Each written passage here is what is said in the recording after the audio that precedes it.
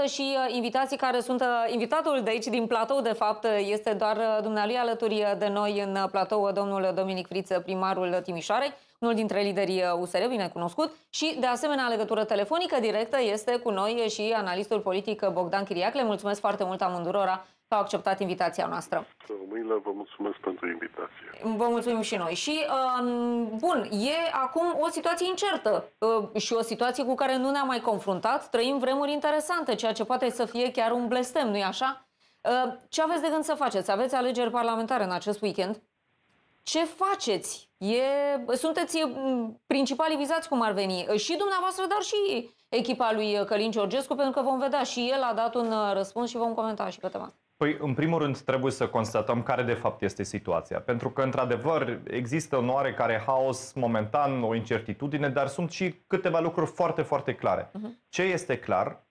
Că uh, luni, foarte devreme dimineață, 150 de mii de delegați din partea partidelor în toate secțiile de vot în România și în diaspora au semnat procese verbale după o numărătoare a voturilor, prin care au consemnat în fiecare secție rezultatul.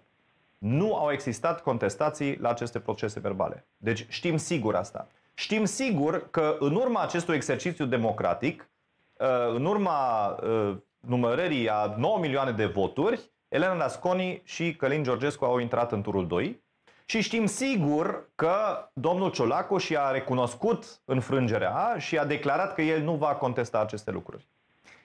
Ce se pare că uh, știm la fel de sigur este că acum domnul Ciolacu s-a răzgândit, um, a mai făcut niște calcule și încearcă prin tot felul de artificii instituționale, de uh, jocuri juridice uh, și de tot felul de trucuri um, șmechere să redeschidă dezbaterea cine a câștigat turul 1. Problema Asta cu acest lucru... Înseamnă că a vorbit cu domnul Terheș, pentru că nu avem o dovadă că dumneavoastră este în spate. Domnul Terheș este fost europarlamentar PSD, adică e, e la vedere. Nu Înseamnă că a rămas cu sufletul în PSD, asta nu po- sunt, poate să explice. Nu sunt mari misterii, iar uh, majoritatea uh, judecătorilor din CCR sunt uh, numiți de PSD.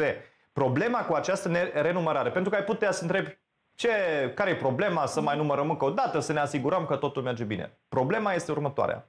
Nu este aceeași, același sistem de renumerare ca în noaptea alegerilor. Când am avut, tocmai ca să existe încredere în acest proces, de la fiecare partid câte un reprezentant, în fiecare secție, am avut o cameră uh, care a supravegheat acest lucru și la sfârșit procese verbale cu o cheie de verificare, dacă nu se închide, adică dacă matematic nu prea pușcă cifrele, se reia uh, numărătoarea. Ce avem acum? În seara asta, în toate prefecturile din țară, sunt adunați saci și chiar acum câteva minute a venit și uh, decizia BEC în sfârșit despre care doar au existat zvonuri care descrie această procedură. Uh-huh. Um, și sunt toate duse într-o singură încăpere. Județul Timiș are, nu știu, cred că 600 de secții de votare. Din toate secțiile sunt duse într-o singură încăpere, unde cine numără aceste voturi, nu reprezentanții partidelor care se asigură să se controleze reciproc, ci angajații prefecturilor. care prefectura este uh, un, uh, o instituție publică, dar totuși sub control politic. Este uh, reprezentantul care... guvernului în teritoriu, prefectul. Exact. Și acest proces este supravegheat, într-adevăr, de biroul electoral județean, unde partidele au un reprezentant, dar un singur reprezentant. Deci în loc să avem în 600 de secții câte un reprezentant, acum toate 600 de secții se numără în același timp de niște uh, oameni de care nu știm nimic uh-huh. uh, și avem un singur reprezentant care acum el să fie responsabil să uh, să atesteze că numărătoarea a sute de mii de voturi, eu zic de județul Timiș, se face în mod corect. Cine, cine în țară crede că după un astfel de proces, dacă iese o altă cifră, noi o să avem încrederea că acea nouă cifră de după renumărare este mai reală decât prima cifră în care a fost un sistem extrem de elaborat și în care, care tocmai a fost uh, dezvoltat ca să avem încredere în rezultatul alegerilor. Deci orice ar fi rezultatul după această renumărare, uh, va fi cu noi dubii, cu noi îndoieli. Uh, și de aceea jocul pe care îl face PSD-ul și îl face sistemul pe care îl știm, care de mult timp încearcă să aranjeze lucrurile la masa verde, este extrem de periculos, nu doar pentru situația actuală în care ne aflăm, când oricum rușii uh, uh, cumva râd de noi, cât de vulnerabili suntem, um, ci este uh, pe termen lung o subminare a încrederii oamenilor. Și ați întrebat ce facem mm-hmm. și de aceea vreau să răspund pentru că e important. Unul la mână, ne folosim de toate pârghile pe care le avem la dispoziție și juridice și politice pentru a uh, uh, opri acest, uh, cum să zic, această nebunie a renumărării. Um, asta include inclusiv că vom contesta această decizie BEC la înaltă curte. Um, uh, dar, în același timp, și asta doi la mână este și mai important pentru că nu e ceva ce noi ca OSR facem, ci ce cetățenii vor face, duminică vor merge la vot din nou. Și cu cât mai mulți oameni merg la vot și cu cât mai mulți oameni votează cu un partid pro-european și democratic, cu cât mai mulți oameni spun că nu se poate așa, cu atât mai greu va fi să iarăși să rearanjeze voința uh, poporului la masa verde. Deci dumneavoastră spuneți că veți contesta decizia BEC la, curtea, la uh, în alta curte, da. ceea ce înseamnă că până se judecă și asta, până se dă rezultatul, da, până pe 1 decembrie, că ei au uh, cerut termenul acesta, până se judecă și contestația pe care o faceți dumneavoastră, oricum nu mai avem cum să avem alegeri pe data de 8. Asta cred că este clar pentru toată lumea. Eu nu cred că contestația noastră m-aș bucura, dar nu cred că va suspenda decizia respectivă, dar aici nu sunt, nu sunt jurist. Eu am înțeles acum că termenul limită este duminică seara la ora 22, deci după uh, după închiderea urnelor pentru parlamentare, iarăși o, o nebunie logistică, pentru că sunt mulți da. oameni care sunt în biroul electoral județean pentru prezențiale, dar și în cel pentru parlamentare, care e duminica o altă treabă, nu trebuie să fie acolo la renumărare. Deci este un absolut coșmar și arată cât de mult a decăzut tot sistemul politic care a fost creat în ultimii 35 de ani Uh, uh, mai ales de PSD, cât de disperat este PSD-ul de faptul că au pierdut. Pentru că asta am, am uitat să spun la început. Certitudinea este că domnul Ciolacu a pierdut aceste alegeri. Chiar dacă a mai luat încă 100, 500, nu știu ce, 80 la peste 80% în această țară au dat un vot împotriva prim-ministrului acestei țări. Asta este o respingere clară acestor jocuri care nu au început astăzi, ci care au început Uh, inclusiv uh, cu decizia de a o scoate pe Diana Șoșoacă uh, din joc. Și de aceea este absolut penibil acum să cumva facă această șaradă um, pe care o fac inclusiv la CSAT, unde era evident pentru toată lumea de, de zile, de săptămâni întregi că sunt niște lucruri necurate uh, pe TikTok. Așa, um, în condițiile acestea, vedem decizia uh, Curții Constituționale o afectează pe doamna Rasconi, iar uh, decizia CSAT îl afectează pe domnul Georgescu, obiectiv vorbind. Da, nu vorbim aici despre cum, dar vorbim de nume pur și simplu și de modul în care Scuze. Teoretic, teoretic. Deocamdată deci... nu le afectează, e un pistol cu apă. Au făcut hârtie care au zis, nu, nu, mai, mai, mai, Tocmai, credem teoretic, că ai făcut uh, Teoretic, dar poate să influențeze, poate să influențeze, uh, domnule Chiriac, modul în care alegătorii vor vota, că poate își vor pune problema, domnule, nu e clar ce s-a întâmplat acolo uh, și îmi schimbă opinia. Se poate întâmpla asta.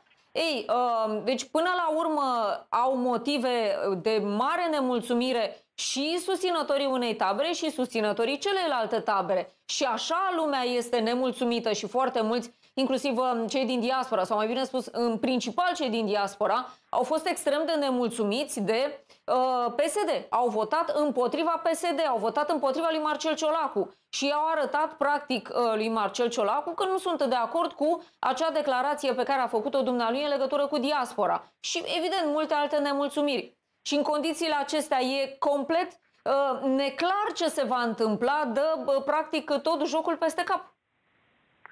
Domnă, în mod tradițional diaspora votează anti-PSD. De-a lungul timpului a votat cu USR, uh, a votat cu Claus Iohannis, acum diaspora s-a mutat către AUR în cea mai mare parte și către Călin Georgescu. Atunci diaspora era bună, acum nu mai este bună. Întotdeauna însă e o constantă diasporă, să votează anti-PSD. Doi, sunt multe decizii fără precedent în acest moment, și ale CCR-ului, și ale onorabilei curs, ale onorabilei curs constituționale și a CSAT-ului.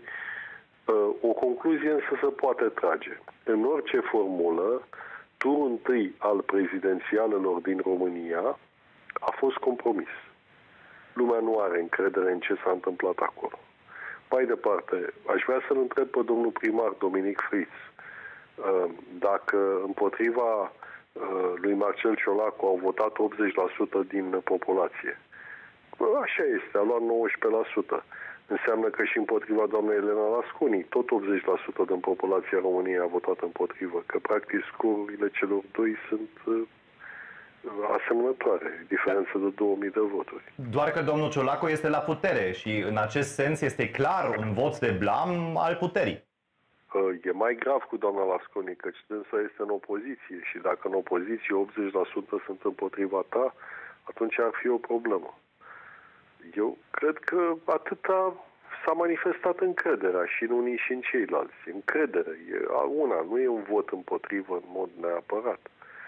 Nu știu și cred că nu știe nimeni în momentul ăsta. să va apela probabil la Curtea Constituțională, să va apela la alta curte. Dacă mâine sau poimine, că nu o să poată să numere toate voturile, 9 milioane jumate de voturi în 24 de ore, dacă luni vor constata că domnul Ciolacu are trei voturi mai mult decât doamna Lasconi, ce se întâmplă? Legal, există precedent? Să reia turul întâi la prezidențiale sau să schimbă locul 2 cu locul 3 și candidează Ciolacu în turul 2? Nu e sigur deloc și cum este, uh, ar trebui tratată problema. Legea e clară Dacă... aici.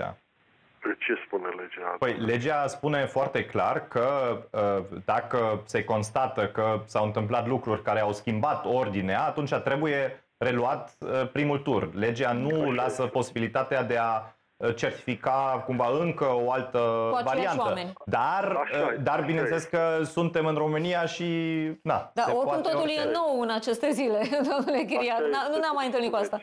Da, așa e cum spune domnul primar. Legea așa spune că s-a, reiat, s-a viciat uh, procesul de votare și să reia primul tur. Astăzi am auzit însă experți spunând că s-ar face schimbarea de colo-colo. Mai departe, în cazul domnului Călin Georgescu, dacă se constată că procesul a fost viciat de o putere străină, uh, să reia procesul de votare fără Călin Georgescu? Uh, cum s-ar putea face asta, fiindcă aici nu merge să ai suspiciuni rezonabile.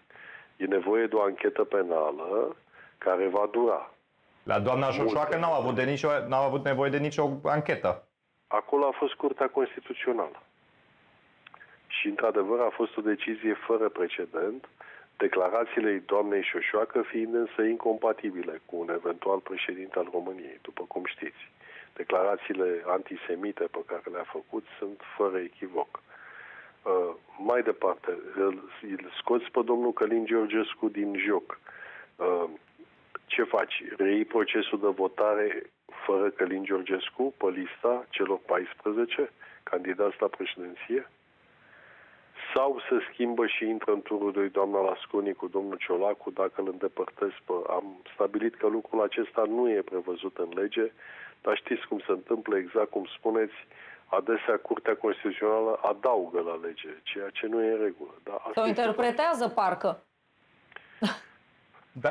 E corect, da. așa ar trebui să ne lumineze. Dar uh, nu sunt puține cazuri când a adăugat la lege. Despre ce vorbim? Deci, concluzii nu putem trage, în afară de una singură, turul întâi al prezidențialelor din România a fost profund viciat în ochii publicului din țara noastră. Și oamenii vor rămâne oricum, uh, chiar și după ce vom avea rezultatul final, oricare va fi el și oricând vor fi aceste alegeri, dacă se va relua sau nu primul tur. Oamenii vor rămâne cu ideea că cine va câștiga a câștigat în urma unei chestiuni neclare, în urma unui blat sau în urma unei uh, intervenții neortodoxe până la urmă. Și asta e o problemă, pentru că uh, ne dorim democrație, ne dorim alegeri libere. Păi și, și problema este că uh, cumva acest proces viciat a fost viciat inclusiv și în primul rând de instituțiile statului. Uh-huh.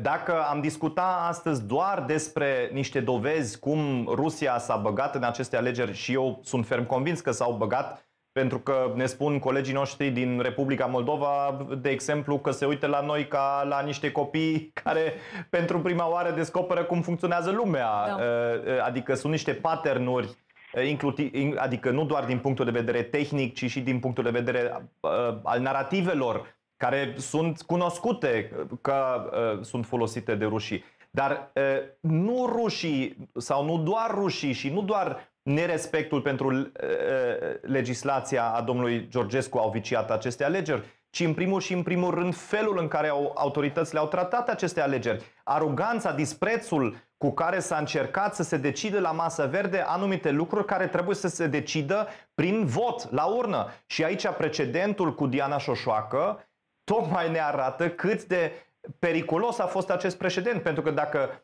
Eh, comparăm declarațiile doamnei Șoșoacă cu declarațiile domnului Georgescu, Georgescu, care este admirator nu doar a lui Putin, ci și a domnului Antonescu, a, a altor legionari, atunci este evident că e, eh, nu există o diferență foarte mare. Asta înseamnă că acum trebuie să-l scoatem și pe domnul Georgescu prin CCR.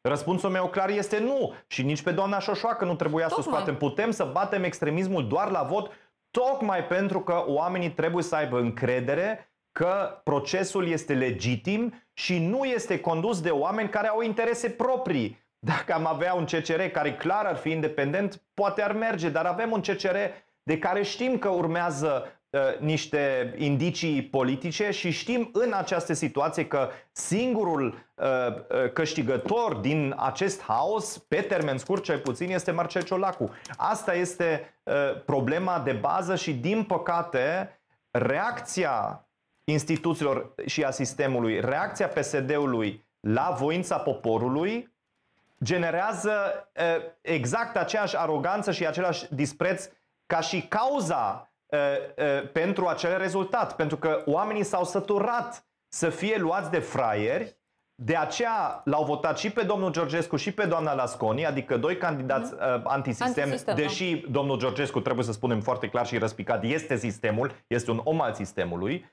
Um, uh, și acum reacția la această uh, voință a poporului este exact același dispreț care de fapt a cauzat aceste rezultate. Bun, uh, și apropo de... Vă rog, vă rog. În raționamentul dumneavoastră corect al minter, există, în opinia mea, o singură fisură. Decizia Curții Constituționale a fost luată cu 9 la 0, în unanimitate. PSD-ul a numit patru judecători acolo. Eu aud că nu e chiar așa. Atât a numit, nu mai mult. Deci, mai nu, nu, eu zic că a, această știre cu unanimitatea e o tehnicalitate despre cum uh, se emit anumite decizii, dar vom vedea, eu cred că vom vedea, sau sper că vom vedea, uh, pentru că acum doar s-a amânat. Uh, nu mai poate fi pentru, pentru decizia finală, eu m-aș mira să fie una unanimă. Decizia, decizia renumărării voturilor s-a luat cu 9 la 0. Alte decizii deocamdată nu știu, ci e vorba despre unanimitatea onorabile curți constituționale. E foarte interesant să vedem în acest context și uh, ce arată sondajele, pentru că avem un ultim sondaj înainte de alegerile parlamentare și avem și un sondaj privind uh, prezidențialele. Sunt foarte interesante datele și trebuie să spunem că aceste date pe care le vedeți acum pe ecran nu cuprind scandalul de azi, pentru că ele au fost făcute în perioada 26-28, deci S-a încheiat azi cum ar veni calcularea datelor, pentru că e posibil, dacă fac un sondaj în zilele următoare, lucrurile să fie complet diferite. Și iată cum arată sondajul, vedeți deja și dumneavoastră, 22,4% aur, PSD 21,4%, USR 17,5%, sunteți în creștere așadar, 13,4% PNL, UDMR ar fi ultimul care face uh, pragul de 5%, dar Celelalte două partide care sunt uh, asociate, uh, cel puțin ca imagine, ca doctrină Aur, uh, Călin Georgescu, sunt la limită. Pot și SOS România ar putea și ele să intre în Parlament și evident că nu știm cum vor evolua lucrurile după scandalul de azi. Și avem și um, un uh, sondaj pentru prezidențiale, care e și el foarte interesant și care de asemenea nu cuprinde scandalul de azi. Și el arată așa. Elena Lasconi 47,5%, Călin Georgescu 45,3%. 4,4% voturi anulate, 2,9% nu s-au hotărât cu cine ar vota. Um, o cercetare Atlas Intel, um, așa cum vă spuneam, aici sunt și datele pentru că totul trebuie să fie transparent. Perioada 26-28, 2116 persoane, marjă de eroare de plus minus 3%, nivel de încredere de 95%.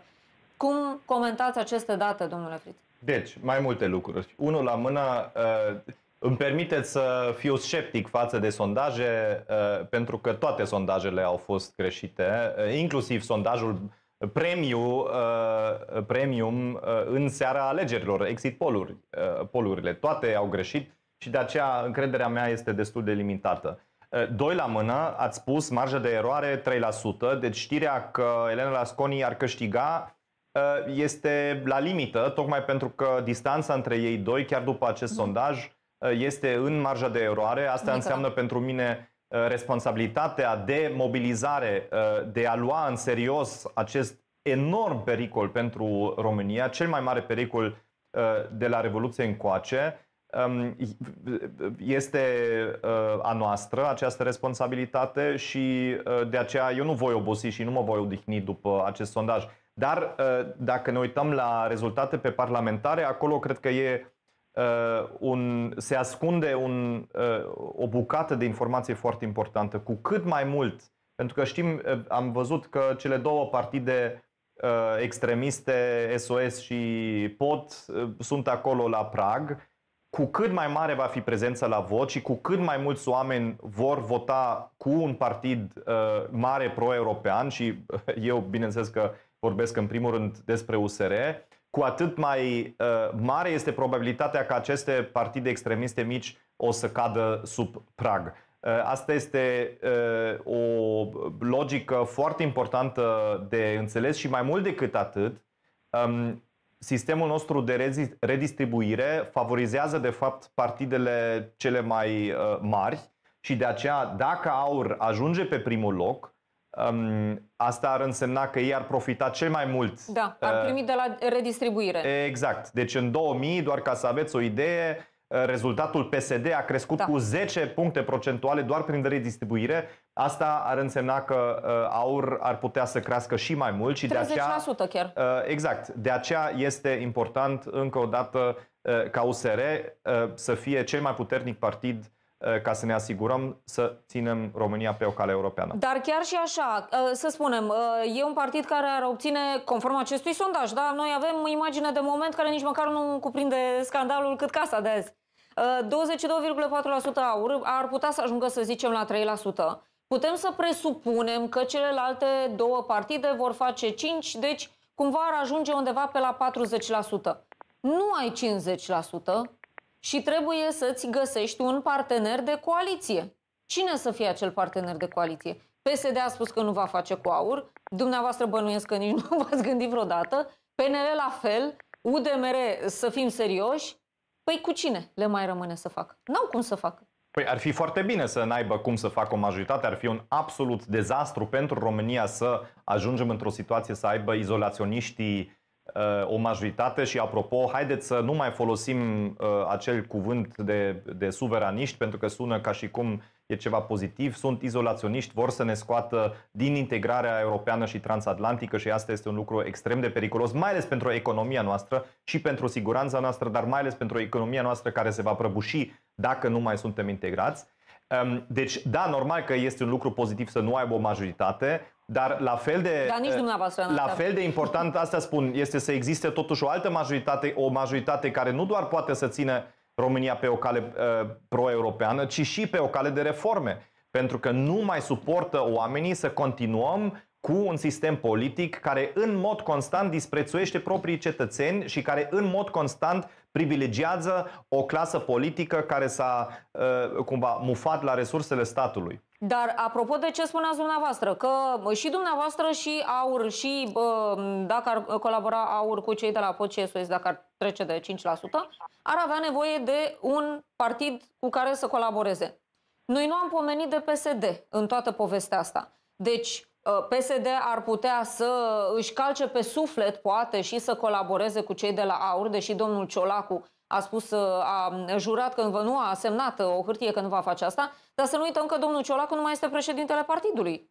Și să nu uităm că de duminică PSD are mari uh, dificultăți să se decidă dacă vor să-l susțină pe domnul Georgescu sau pe doamna Lasconi, deși este, ar trebui să fie pentru un partid social-democrat care în Parlamentul European uh, lucrează cu uh, uh, mari uh, social-democrați din Europa, uh, n-ar trebui să fie nici măcar 30 de secunde de Atunci discuție. Deci, că ar trebui să... uh, eu cred că uh, cumva ispita pentru PSD va fi acolo și încă o dată, tocmai de aceea, dacă pentru oricine se simte acum acasă Uh, nu știu, dezamăgit, uh, uh, descurajat, e atât de important să ne mobilizăm la maxim și să mergem la vot duminică și să votăm USR. Bun, în momentul în care uh, spunea și domnul Chiriac ceva mai devreme, diaspora și nu numai diaspora, românii care au votat cu domnul Georgescu și care ar vota poate sau nu cu aur, își doresc aceste opțiuni pentru că sunt văzute de domniile lor ca fiind antisistem. Ori în momentul în care un partid ca AUR ajunge la un astfel de procent și face o colaborare cu PSD împotriva căruia au votat toți acești oameni, cum credeți că ar fi? Da. Și pe de altă parte și dumneavoastră aveți nevoie de PSD. Bine, în, în primul rând, haideți, să, haideți să, să distrugem anumite mituri. AUR nu este un partid antisistem. AUR este o carcasă antisistem care ascunde o structură creată de sistem. Uh, vă amintiți de scandalul cu BMW-urile de la Ministerul de Afaceri Interne, cu nu știu ce prieten de la Iohannis, uh, nu știu ce? Ați auzit un singur cuvânt de la aur? Deci, întotdeauna, în momente cheie, când era și trebuia criticat guvernul României, uh, aur a tăcut. Dacă ne uităm cine candidează pe listele aur, ne trezim că sunt mulți foști uh, parlamentari. Domnul Terherș, care și el a trecut prin aur, uh, fost europarlamentar PSD. Deci ideea că aur uh, este cu adevărat antisistem este absolut greșită și cred că din ce în ce mai mulți oameni uh, o înțeleg. Bun, revenim după publicitate, vorbim și despre proteste. Sunt deja acuzați cei de la USR că i-au scos pe oameni în stradă, lămurim dacă este așa sau nu, bineînțeles. Și, de asemenea, e un exemplu foarte interesant de modul în care a fost folosită inteligența artificială pentru um, campania domnului Georgescu pe TikTok. E un exemplu foarte interesant, veți vedea.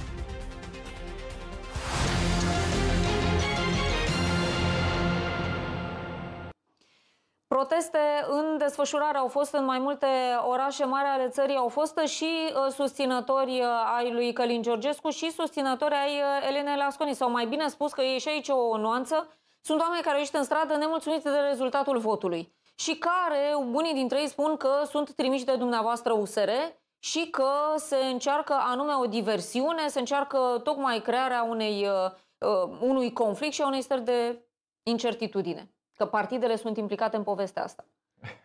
Da, știți Cum că răspundeți? Am, am fost, uh, cred că ieri, am fost la o televiziune locală și întrebarea a fost fix invers. A zis, domn primar, e corect că încercați să, ați încercat să împiedicați, uh, nu știu, avizul pentru protestul respectiv. Da, adică am fost, Timișoara, da. Uh, am fost acuzat fix invers, pentru că, nu știu, cred că au cerut în, în 8 ore și comisia nu s-a întrunit sau, în fine. Adică, nu, este, bineînțeles că este o prostie. Eu am alte responsabilități, nu să mă ocup de a organiza proteste. Și, până la urmă, este și un, nu știu, o, o aroganță față de acești tineri care s-au organizat ei între ei pentru că nu cred că pentru că sunt nemulțumiți cu rezultatul alegerilor, ci mai degrabă pentru că sunt îngrijorați despre direcția uh, pe care o luăm ca țară și vor să, să-și facă vocea auzită. Trăim într-o democrație și am auzit că domnul Georgescu a început chiar să amenințe ca ultimul mafiot, uh, trebuie să aibă grijă să nu pățească ceva. Um, și asta arată, de fapt, uh, tocmai spiritul antidemocratic pe care îl are.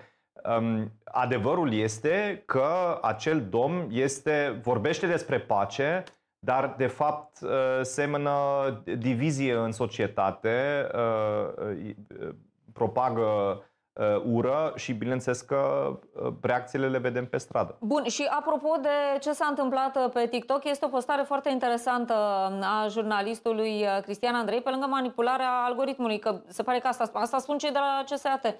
Echipa care a distribuit uh, materiale online în sprijinul uh, echipei Georgescu a folosit uh, din plin de inteligență artificială.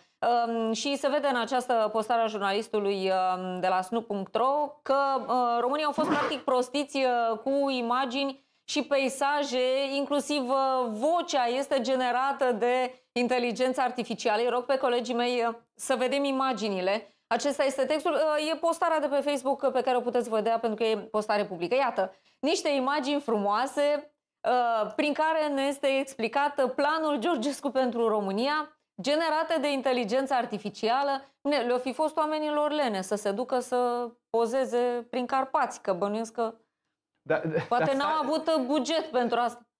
Stați un pic că, că partea ridicolă sau partea cum sunt prostiți românii, nu e neapărat cum e generat asta, asta doar explică că ei nici măcar nu au resurse să facă videoclipuri, ci folosesc efectiv inteligența artificială, asta arată cumva ce echipă are, dar partea ridicolă este dacă ne uităm ce fel de promisiuni sunt, dacă mergeți un pic mai sus acolo în, în, în postare, deci promite că vom redeschide toate fabricile Uh, închise în 89, că energia va fi gratuită, uh, pensiile se triplează, vârsta de pensionare uh, se scade la 55 de ani, adică este o fantezie totală și atât de absurdă pentru că efectul propunerilor domnului Georgescu este fix invers.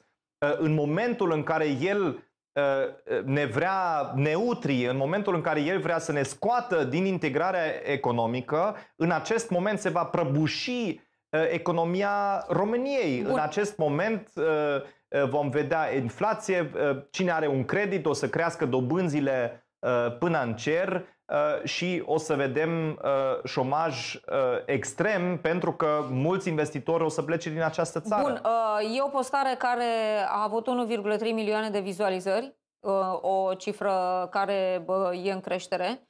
Și mai precizează Cristian Andrei că a fost clipul postat de o persoană care are o singură postare, aceasta. Da, e, e, e clar că astea sunt trucurile cu care se lucrează nu trucul în sine mă îngrijorează, mă îngrijorează această cifră de 1,3 da, de milioane de oameni care pică Oamenii în această văd capcană. aceste imagini frumoase generate de inteligență artificială și dumneavoastră veniți cu imagini reale de pe stradă sau din munți sau mai știu de unde? Păi, în primul rând, vin cu idei reale care, care sunt soluții reale la niște probleme reale.